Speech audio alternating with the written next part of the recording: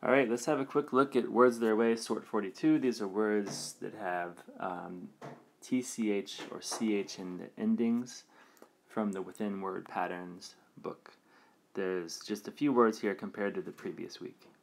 So, first, a sketch is a quick drawing. For example, you have a sketchbook for art class. Screech is a high, unpleasant sound. The most common use of this is a, car is driving and has to slam on the brakes, the tires, and make a screeching sound. And roach is just a short form of the insect cockroach. Okay, a torch is a flaming light. Um, most commonly is the Olympic torch, which they carry to the Olympics to light the bigger torch. Um, just beware though, in uh, England or other maybe English speaking countries outside of America, um, a flashlight is often just called a torch. So it's not on fire, of course, but a flashlight could also be a torch. Pitch has a lot of different meanings, but we'll keep it simple. Um, we'll call it to throw something. And fetch is to go and get something.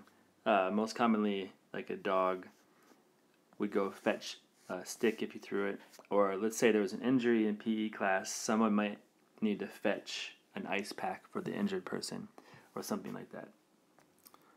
All right, the next couple words, gulch and hutch, are not very common words, so don't worry if you don't remember these or if you've never heard of them. Um, I'm an adult, I read every day. I wasn't even sure exactly what these words meant, but a gulch is a deep ravine or valley. A ravine's like a very small form of a valley um, that fills with water when it rains. This means with, by the way. Um, but maybe a picture would better illustrate this. So you can see it's deep and steep, and there might not be water here all the time, but when it rains, the gulch fills up with water. But again, many adults wouldn't be able to know the difference between a gulch or a ravine or a gully or all of those things in nature. But this is what it would look like. A hutch is another rare word, but it is um, a pen for rabbits or other small animals. So, this is an example of what a hutch would look like just a pen where you would keep small animals inside. And a couple last things here. A porch is a place for sitting outside the house. Um, and usually there's like a little roof over here. And you don't just have to sit there, you could put your laundry out there or whatever. But it's just a place um, for sitting outside of your house. And last thing, uh, the only word you hear of these two is this which, but it is a homophone, so just be careful. And the which with uh, H I C H is a question of choice, like which snack do you want to eat today?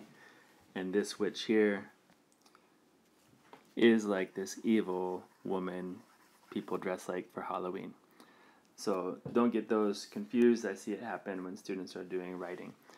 So that's it for this week. And if you'd like some other videos of words their way, um, word sorts, definitions, I'll put some stuff here for you. But that is all for this week. So thank you.